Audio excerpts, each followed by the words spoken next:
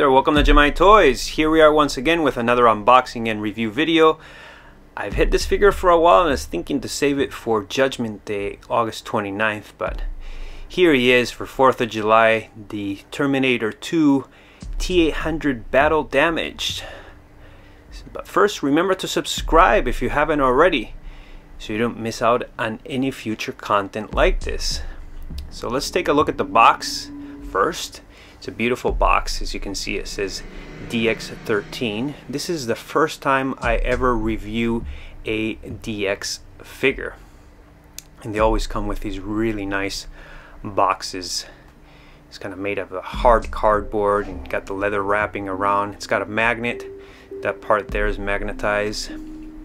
And this is the back. Not a whole lot to see, but credit to the people who made the figure. And this is the top.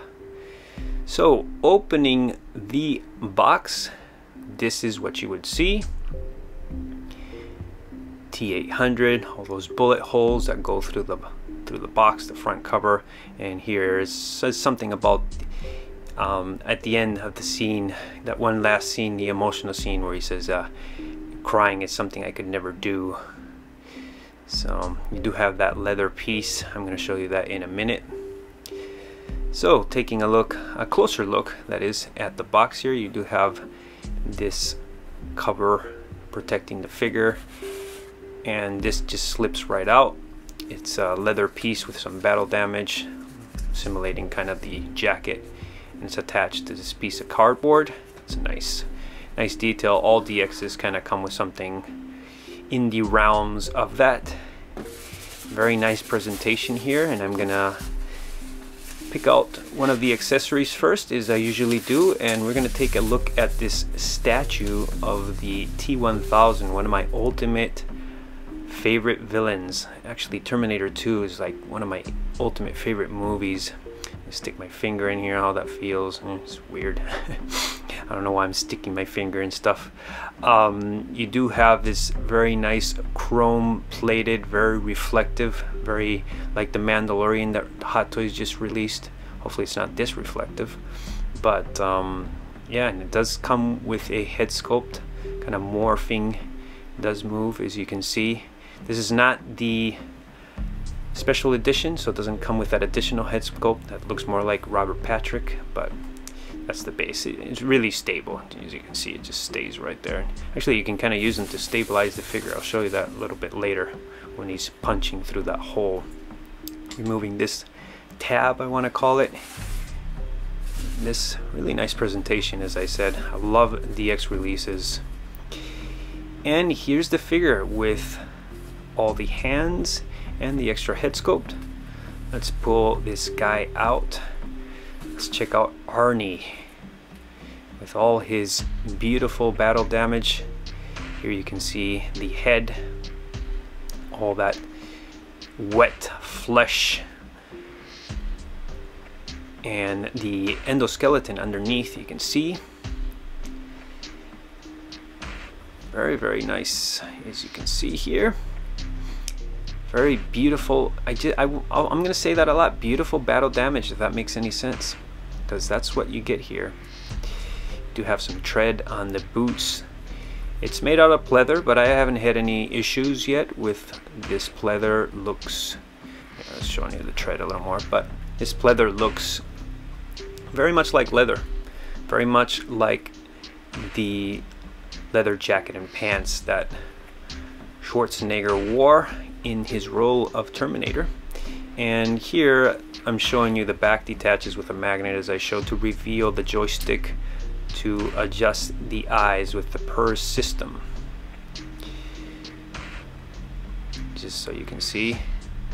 Some figures are, it's kind of a hit or miss with Hot Toys, the PERS system. Some the eyes don't look right when they add this feature, but in this case, I think Hot Toys, this is when they really um, adjusted or perfected their craft, I want to say, when it comes to the PERS system. As the Indiana Jones release, I wasn't too happy with the likeness of Harrison Ford, but here, great likeness as you can see. And here I'm showing you the chest area, all that battle damage, the endoskeleton underneath, all the bloody, wet look really nice. This is a single joint, but I guess it gets the job done.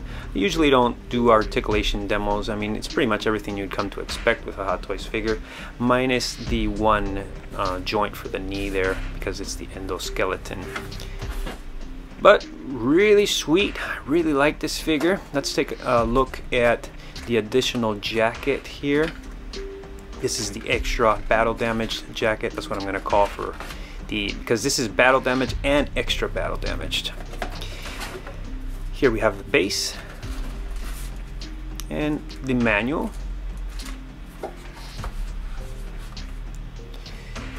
So here you just kind of have this clamshell I want to call. You can slip this whole piece out.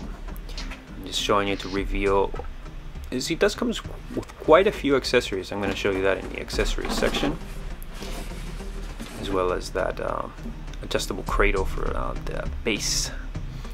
So speaking of, here's the accessories section starting with the hands. These hands do have a lot of detail as you can see. I mean look at this. All that flesh, all that wet blood. Really love the wet look it has. And um, the endoskeleton, of course. You can see that underneath. Like the bones. Only his bones are of metal machine. And the battle damage does match for the correspondent hand. On the other side same situation. Got some nice battle damage. I like this how that looks. Kind of reminds me of Luke Luke's battle damage when he was uh, hit by a blaster. And yeah of course they match as you can see. Yeah, real sweet.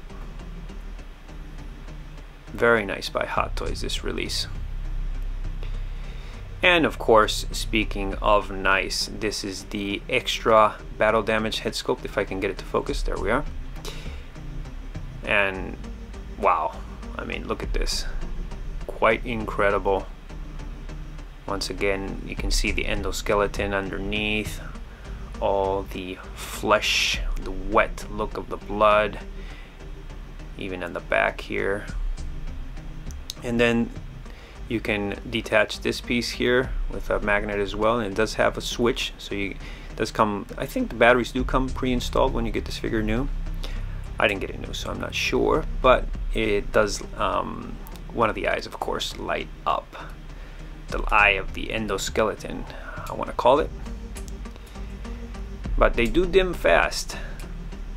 Anyways just want to demonstrate it and of course I'm going to show you later on the figure.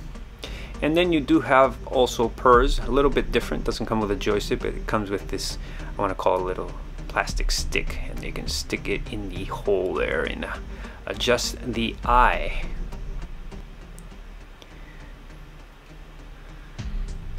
Yeah stick in the hole.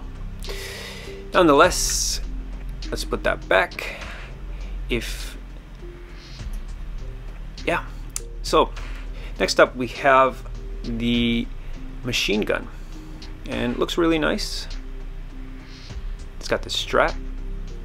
Put over his shoulder. And this piece here does extend. Just like the probably the actual machine gun would. Not sure. I don't know too much about machine guns but and it does have this cartridge magazine with a bullet on top. Nice detail. Many hot toys have that so this one of course is no exception. And next up we're taking a look at the grenade launcher.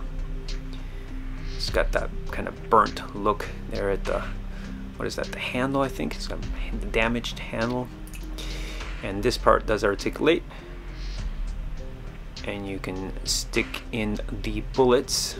It does have another piece of articulation I'll show you later. It's just for for your targeting. But these are the bullets. You can stick those in the bandolier or in the grenade launcher which I'll show you. Really nice detail on the bullets as well. So you just put them on put them in like that and there you have a loaded grenade launcher with some battle damage. Of course, this guy is totally battle damaged, so just makes sense. Battle damage weapons. Next up, I know we already took a look at, excuse me, but this accessory.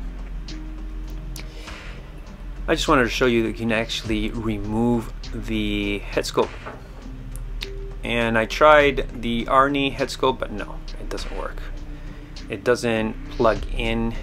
I'm just kind of messing around. If you've been watching my videos for a while you know I like messing around. So I'm just doing messing around with the eye in the hole. But that's not what this is for. I'll show you later. That's meant for a specific pose. If you've seen the movie I'm sure you know exactly what I'm talking about. You've probably seen this figure before. If as I drop the head. Stay, stay there. There we go. So let's put the T800 head back. And here's the bandolier. As I mentioned before, you can put the bullets in the slots like that. It's a very iconic look for the T-800 in Terminator 2, I think, with all the bullets in there. I really like that look. And here we have the rod. It's made out of plastic, but it looks like it's made out of metal. It does the job. I mean, I'm happy with it being plastic. And it looks like a screwdriver tip there.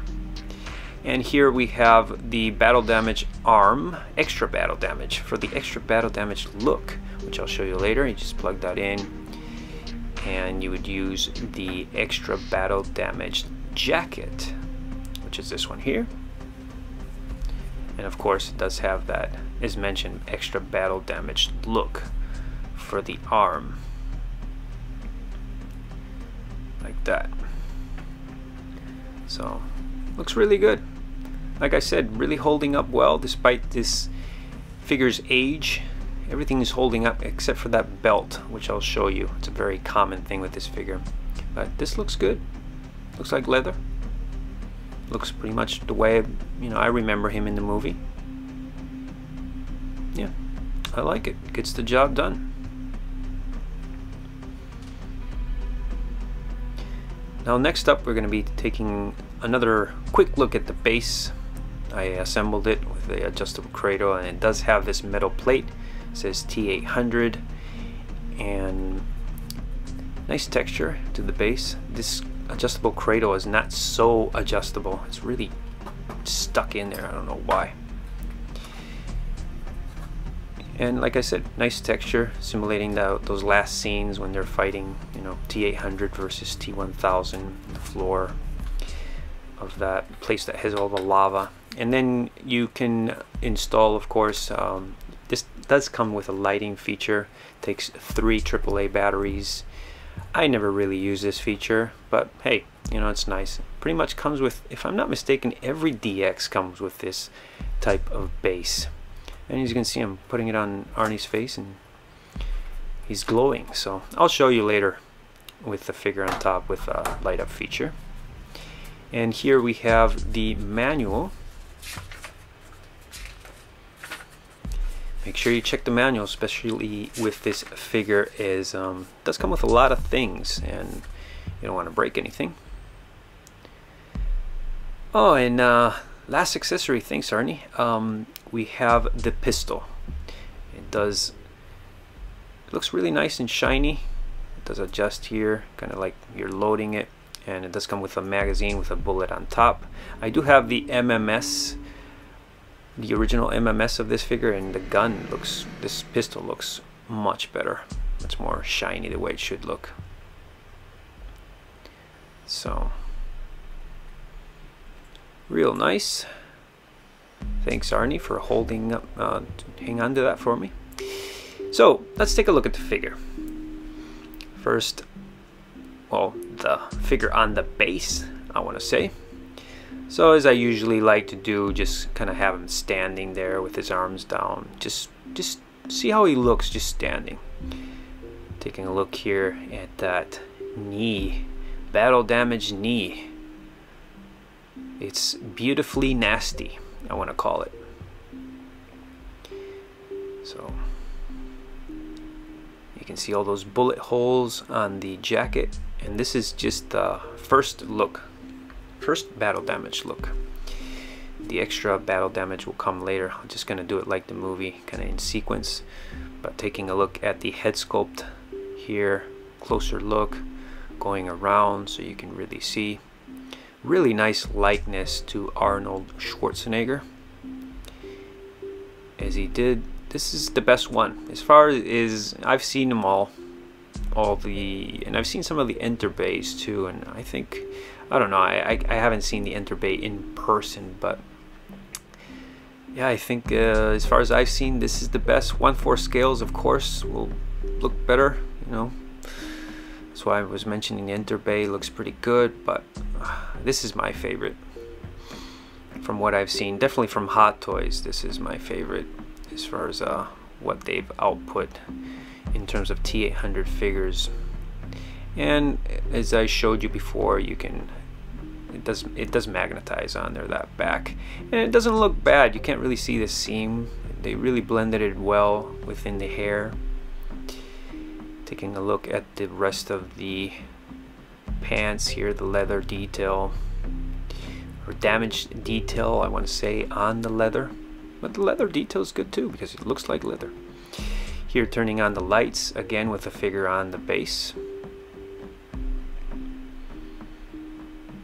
You can see here it does catch slightly the lights but what I'm gonna do is turn off the lights so you can see a little bit better. And you can point the lights, you can just kind of adjust them as I showed you before. I like to ad adjust them so they're just kind of pointing at the figure. Like I said, it's kind of a gimmick. But, know, it's nice that Hot Toys includes it.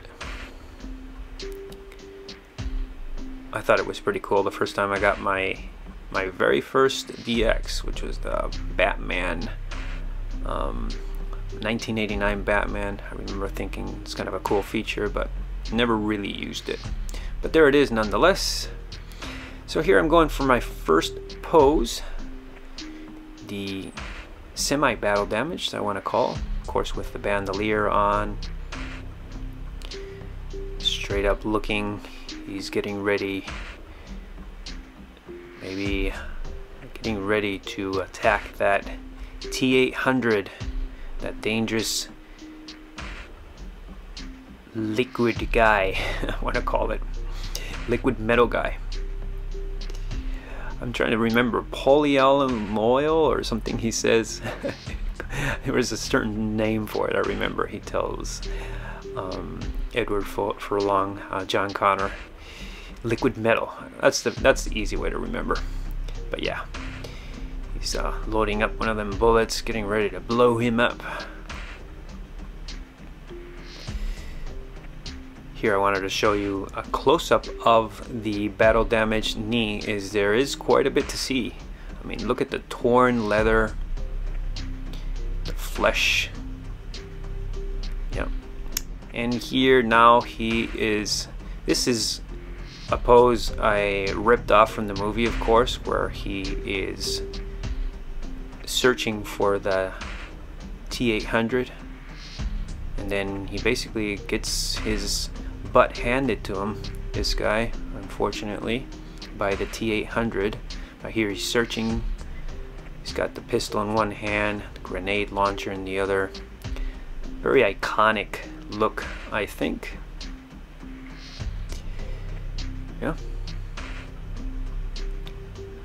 I think uh, looks sweet like this. It's a nice pose for him.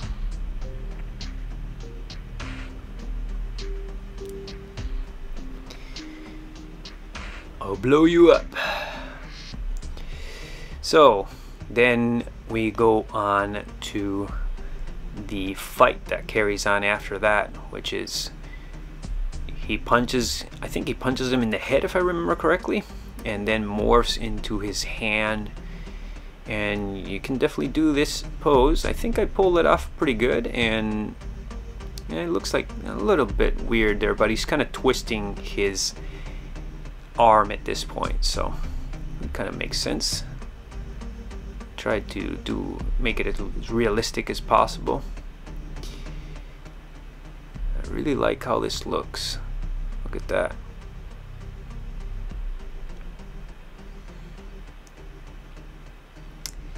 Yeah, he's about to lose. Uh, T1000 definitely proved to outdo. Of course, he's a newer model, so taking a look at the head sculpts, the, the two, battle damage and extra battle damaged. You can see here there's quite the difference. I'm glad they included both of these. It's pretty awesome by Hot Toys. They don't do so much of this anymore. So you can compare. After that fight with the T800, he just basically bashes his head. Even the back here, this is the back of both, so you can see.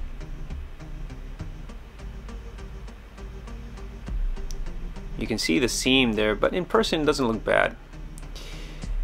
And then, of course, both are the same. Magnetic, if I can get this one off. Just like that.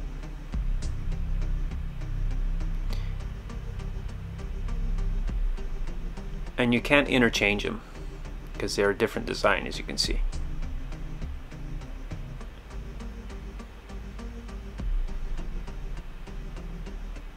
So yeah, just kind of wanted to show that.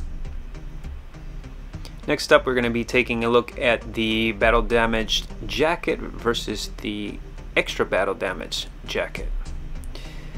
So as you can see all the bullet holes on this one and this one is missing one of the sleeves just torn off.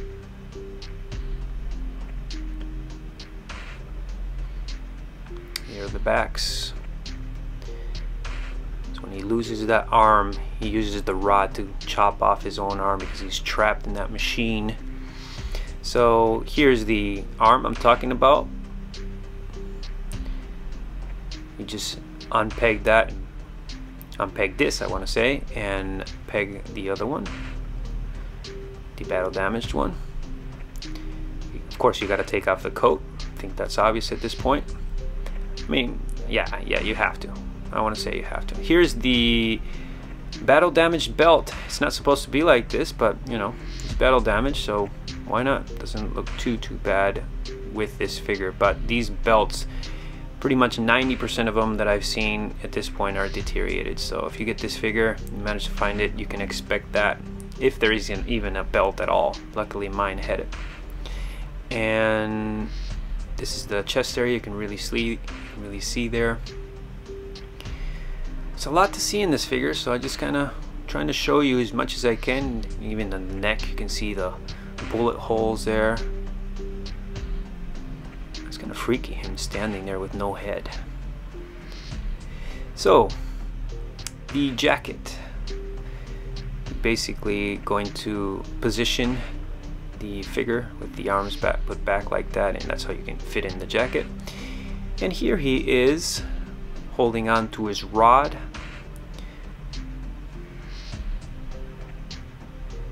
After he basically tore off his own arm so he could escape that machine that he was trapped in. See all the battle damage there. And at this point, he still looked like this.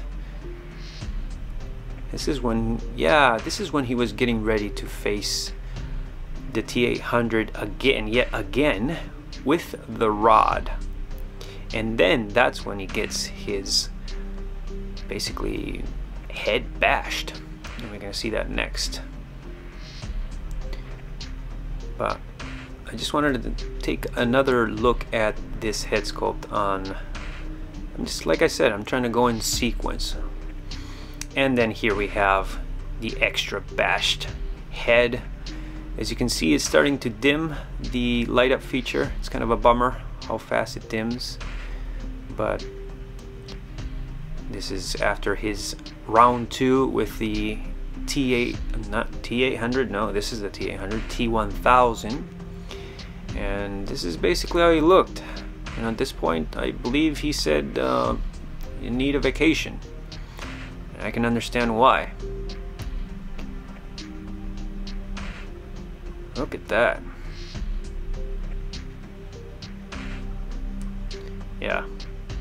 This figure is a beauty. I think many people in the community consider this figure uh, a grail piece, and I understand why. It's one of the best figures Hot Toys have ever made. It's quite amazing. Here I'm showing you how fast the light up feature dims. That is not amazing, but you know, it's not one of those things you are going to use so often, I don't think. So, here I had this Tobey Maguire Spidey handy for a comparison, so I thought why not just to show you. I think this would be about right. You know, so yeah. In terms of height, I think Arnold is 6'2". Hmm, kind of yeah, 6'2", I believe. So yeah. And here he's giving that final thumbs up. Yep. Destroyed the chip and now he's got to destroy the chip inside of him. I can't self-terminate. So he needs to be lowered into the lava and then finally giving the thumbs up. Such a memorable scene. So that's gonna wrap it up. I hope you guys enjoyed this unboxing and review of an older figure. I know I enjoyed it. It's nice to take a look at this figure finally and yeah if you can get this figure I would definitely recommend him if you can find him as he is a great piece. And if you love Terminator yeah great piece. So with that said subscribe like and comment. Enjoy the path of collecting and I'll catch you guys next time. What are you looking at? What are you staring at? What do you need